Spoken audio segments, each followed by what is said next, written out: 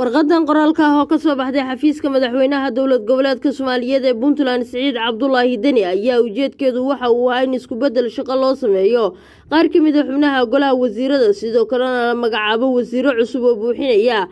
Boosas ay baneeyeen xubno ka mid noqday golaha shacabka soomaaliya kuwaasoo hore xilal kala duwan uga hayay deegaanada maamulka puntland wareegtada ka soo baxday madaxweyne siciid cabdulaahi deni islamarkaana ahayd xeer madaxweyne kuna taariikhsnay soddonka bisha. Maaj ayaa waxa ay ahayd ujeedkeeda ugu badani magacaabid iyo isku-beddel xubnaha golaha wasiirada maamulkani. Madaxweyne deni ayaa sheegay markii uu qirtay amaba uu eegay dastuurka dowlad goboleedka soomaaliyeed ee puntland islamarkaana la tashiyo ula sameeyey guud ahaan xubnaha ay howlahani quseeyaan oo ugu horreeya madaxweyne ku-xigeenka maamulkaasi puntland inuu garwaaqsaday magacaabidda iyo isku-beddelka xubnaha golaha xukuumadda oo ka kooban wasiiro. Ku-xigeenno wasiiru dowlayaal waxaana loo dhigay sidani cabdiraxmaan caydiid ibraahin ayaa loo bedelay noqoshada wasiirka wasaaradda shaqada shaqaalaha dhallinyarada iyo ciyaaraha. Cabdulaahi cabdi xirse ayaa loo bedelay wasiirka wasaaradda gargaarka iyo maareynta musiibooyinka halka axmed shire siciid loo bedelay wasiirka wasaaradda beeraha qoraalka madaxweyne deni ayaa lagu magacaabay jamaal carab yuusuf oo laga dhigay wasiirka wasaaradda qorsheynta horumarinta dhaqaalaha iyo iskaashiga caalamiga ah ee maamulka puntland. Halka doctoreesa niciimo cabdiraxmaan guuleed loo magacaabay wasiirka wasaaradda haweenka iyo horumarinta qoyska. Doctor caarshe maxamed siciid aw muuse ayaa loo magacaabay wasiirka wasaaradda tamarta macdanta iyo biyaha.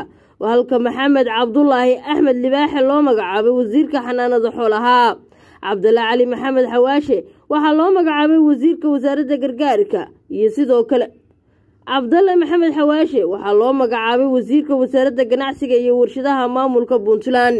Sidoo kale wareegtadan ayaa lagu magacaabay xubno ku-xigeennaah oo bedela kuwaasoo kale ahaa faa'iise cali ismaaciil oo loo bedelay wasiir ku-xigeenka wasaaradda beeraha.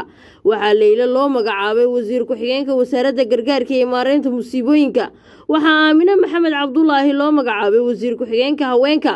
Cali cumar caarshe ayaa waxaa loo magacaabay wasiir ku-xigeenka wasaaradda maaliyadda. Mukhtaar cabdisalaan suleymaan ayaa isagana loo magacaabay wasiir ku-xigeenka wasaaradda deegaanka iyo isbeddelka cimilada. Waxaa qaasi maxamed yuusuf loo magacaabay wasiir ku-xigeenka wasaaradda dekedaha cabdiqaadir maxamed suleymaan ayaa dhankiisa loo magacaabay wasiir ku-xigeenka wasaaradda tamarta warqadda waxaa sidoo kale lagu xusay xubno ka tirsan wasiiru dowlayaal. Waxaa shaakir maxamed geele loo magacaabay. Wasiiru dowlaha wasaaradda qorsheynta axmed maxamuud maxamed waxaa loo magacaabay wasiiru dowlaha shaqada iyo shaqaalaha. Waxaa nuur sheekh daahir sheekh nuur loo magacaabay. Wasiiru dowlaha beeraha waxaa axmed ibraahim cawaale loo magacaabay wasiiru dowlaha wasaaradda waxbarashada. Cabdinaasir aadan ayaa loo magacaabay wasiiru dowlaha wasaaradda kalluumaysiga iyo kheyraadka. Mustafa cabdi fataax ayaa waxaa loo magacaabay wasiiru dowlaha xanaanada. Cabdiqani maxamed ciise waxaa loo magacaabay wasiiru dowlaha ganacsiga. Yuusuf axmed maxamuud bare waxaa loo magacaabay wasiiru dowlaha wasaaradda tamarta macdanta iyo biyaha. Waxaa maxamuud jaamac ismaaciil loo magacaabay wasiiru dowlaha wasaaradda howlaha guud iyo gaadiidka xeerkan ayaa la tilmaamay inuu dhaqan galayo marka uu saxeexo madaxweyne deni islamarkaana waxa uu ku saxeexay isla fadhigii xalay. Inkastoo ay jin jirin dad badan oo dood ka qaba aragtidan iyo qaadashadeeda haddana waxaa jira shakhsiyaad kala duwan oo aaminsan in arrintaas oo keliya aad mar walba diiradda saarayso. Madaxweyne siciid deni ayaa waxa uu tilmaamay in muhiim ay tahay in la buuxiyo shaqooyinka ay baneeyeen xubnaha qayb ka noqday baarlamaanka koob tobnaad ee soomaaliya kuwaas oo laga sugayo in guulo waaweyn ay u soo hoyiyaan maamulka puntland iyo deegaanadii laga doortay. Idaaros maagane wararka laantaafka soomaaliga ah ee c b a t v muqdisho